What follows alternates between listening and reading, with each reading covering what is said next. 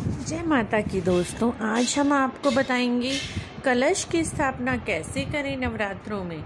हिंदू धर्म में नवरात्रि का विशेष महत्व है।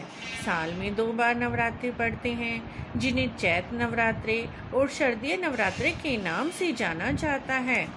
इस बार शरदीय नवरात्रि 17 अक्टूबर से शुरू होकर 25 अक्टूबर तक हैं। 26 अक्टूबर को विजयदशमी का त्यौहार मनाया जाएगा। नवरात्रि व्रत के कुछ नियम हैं।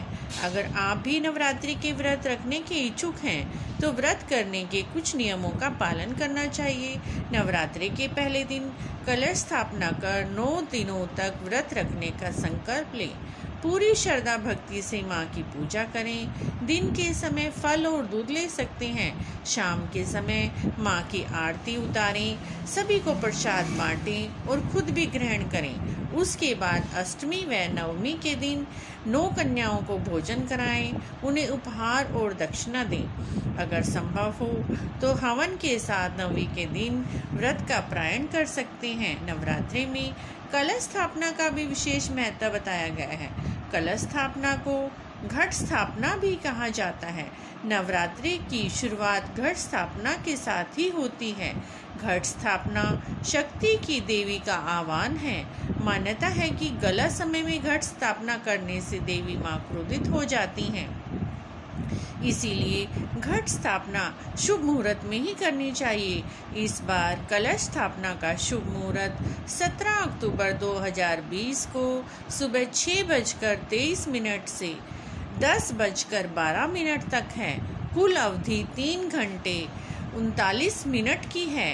माँ दुर्गा को लाल रंग खास पसंद है, इसीलिए लाल रंग का आसन ही खरीदें। इसके अलावा कलश स्थापना के लिए मिट्टी का पात्र, जो मिट्टी, जल से भरा हुआ कलश, मोली, इलायची, लौंग, कपूर, रोली, साबुत सुपारी, साबुत चावल, सिक्के आम या अशोक के पाँच पत्ते, नारियल, चुनरी, सिंदूर, फल फूल और फूलों की माला और श्रृंगार पिटारी भी लेनी चाहिए।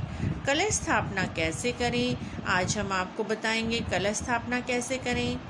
नवरात्रि के पहले दिन यानी प्रतिपदा को सुबह स्नान कर लें।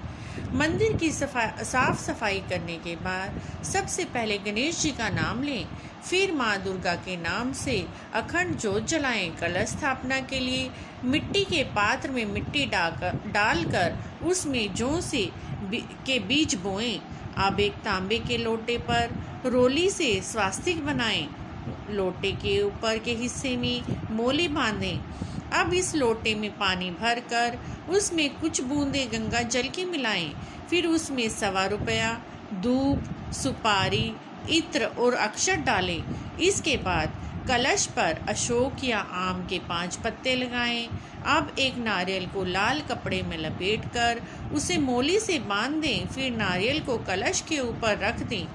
अब इस कलश को मिट्टी के उस पात्र के ठीक बीचों बीच रख दें, जिसमें आपने जो बोए हैं। कलश स्थापना के लिए नवरात्रे के नौ व्रतों के रखने का संकल्प लिया जाता है।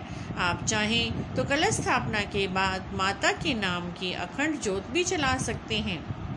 इस प्रकार मित्रों, आप कलश स्थापना करें और माँ का भरपूर आशीर्वाद लें।